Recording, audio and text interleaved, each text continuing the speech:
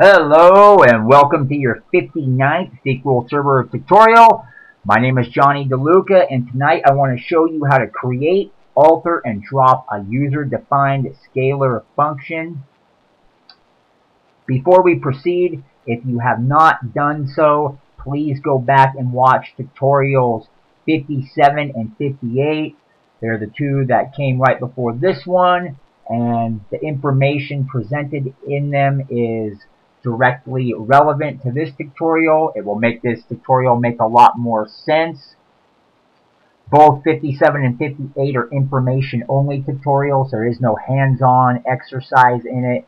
And realistically, 57, 58, and this one, 59, probably all should have been one tutorial. However, I elected to break it up into three parts so it wasn't too much information to take in all at once. So with that said, let's begin. Please connect to SQL Server Management Studio, connect to an instance of SQL uh, Server, and then from there, we're going over to our Object Explorer. We're going to want to expand our databases folder. We're going to AdventureWorks 2012 here. And then from here, we want programmability is the folder we're looking for. We want to expand that. Now we want to right click the functions folder and we're going to select new scalar values function. Now we see that it's automatically populated our query editor window with this sample here.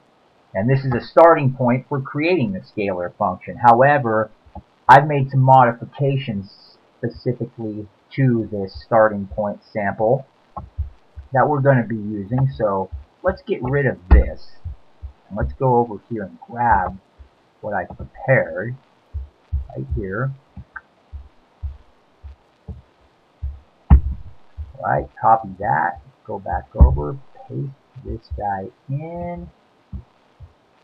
Okay, so now that we have that, go ahead and type this code in. And what this code, it creates a scalar function that accepts a date value as a parameter and returns an integer that is calculated in the begin end code block of the code. And if you're not familiar with begin end, I already covered that in a previous tutorial, so you can go review that. But anyways, we want to go ahead now and execute this. Alright, commands completed successfully. Now, what we're going to do is we're going to paste in another piece of code. So let's go grab that. And this is the one we want right here.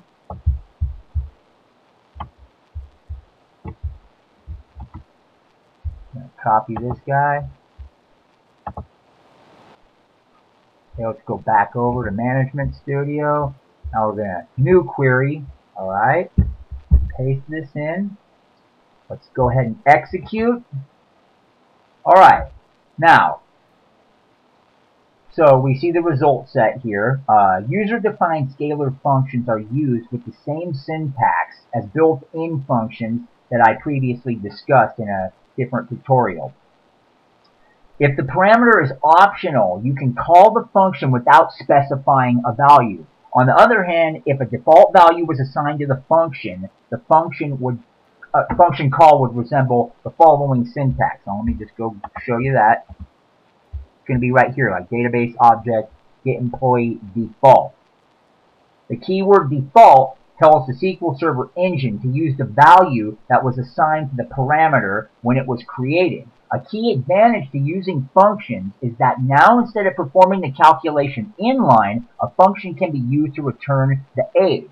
The function can be reused by other programmers providing a consistent mechanism for calculating the data. You may have noticed that the age is not calculated correctly. Instead of returning the years, the function returns the days. So let's check that out. Okay, next I'm going to have you alter the function to return years instead of days. So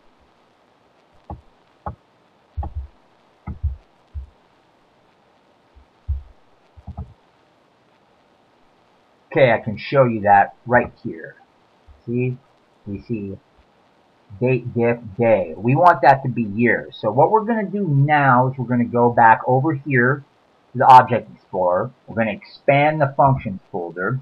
and we're going to expand the scalar Value functions folder right here. Then we want to right click on right here, dbo.getEmployeeAge function and select modify. Alright.